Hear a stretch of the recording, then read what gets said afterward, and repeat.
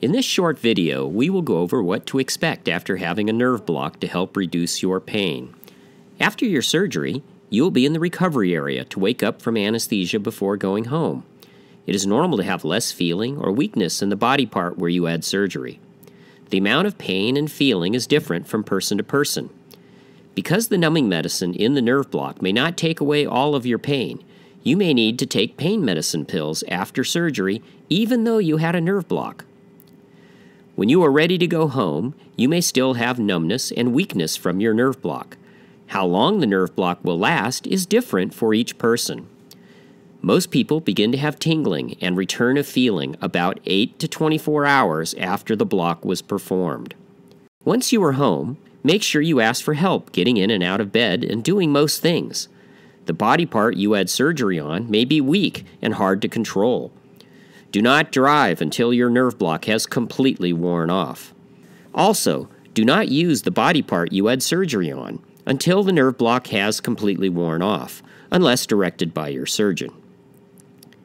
This is because that body part will not work properly. It is also numb and can be injured without you knowing. Do not apply extra pressure, heat, or cold to the surgical area unless your surgeon says it's okay. Sometimes it is normal for the nerve block to last longer than 24 hours after a single shot of numbing medicine. But it may also be a sign of something more serious. If the numbness is not worn off after 24 hours, please call your anesthesia team and ask for the anesthesia doctor on call so they can help you troubleshoot any problems. If you have a nerve block catheter, the nerve block should wear off within four hours of removing the catheter. If the numbness has not worn off after four hours, please call your anesthesia doctor. The nerve block is not meant to take away all of your pain, but it will lower the amount of pain you feel after surgery. Do not wait until your nerve block has completely worn off to start taking your pain pills. Once the nerve block begins to wear off, it can wear off within 30 to 60 minutes, and you may feel the onset of strong pain. It may take up to an hour for you to feel the effects of any oral pain medicines.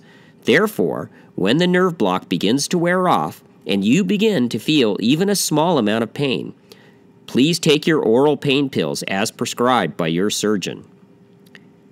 If your surgery was in the morning or early afternoon, your nerve block may wear off in the middle of the night you may wish to take your pain medications before going to bed to keep you from having too much pain during the night. If you did not receive a nerve block catheter, you should skip the rest of this video.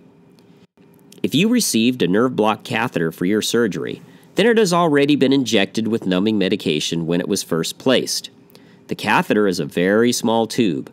Your anesthesia doctor will connect your nerve block catheter up to a pump that will slowly drip a weak numbing medicine out the end of the tube next to the nerves. These pumps can be used to keep your numbing medicine going for several days. You can even take a pump home to help lower your pain while at home. The pump used in the hospital may look different than the pump you are sent home with. The numbing medicine in the pump is not as strong as the medicine you received when the nerve block catheter was first placed so it is normal to have more pain, less weakness, and some return of feeling or tingling in the body part where you had surgery 8 to 24 hours after you go home. If you have pain, it is okay to take the pain pills prescribed by your doctor, even though you had a nerve block. Whether you are at home or in the hospital, make sure you ask for help getting in and out of bed and doing most things. The body part you had surgery on may be weak and hard to control because of the nerve block. Do not drive while your nerve block catheter is still in place or you are still numb or weak. You should also keep any sling or any braces on if your nerve block catheter is still in or you are still numb or weak.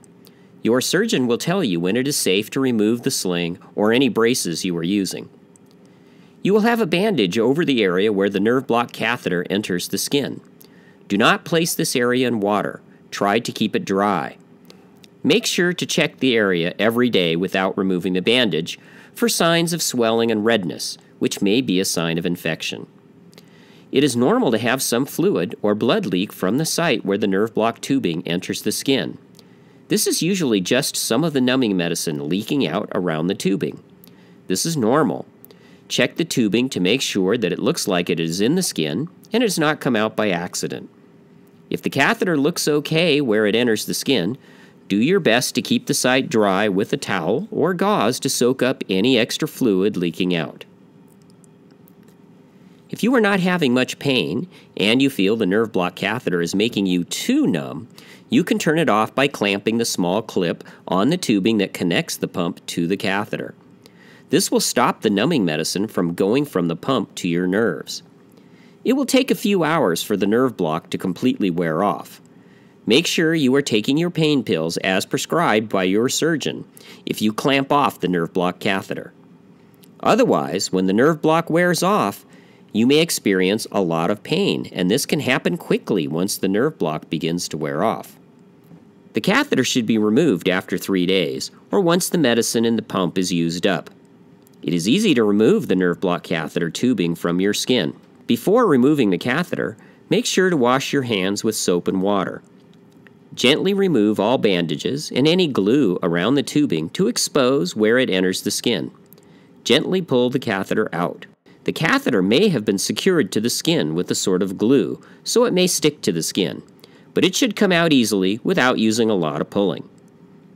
If the tubing does not come out easily, or if you feel pain when pulling on it, stop immediately and call the anesthesia doctor on call. Once the catheter is removed, check the tip for a dark marker.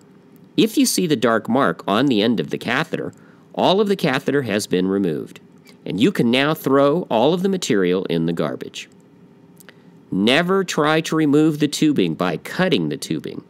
This may leave a small piece of the tubing underneath your skin.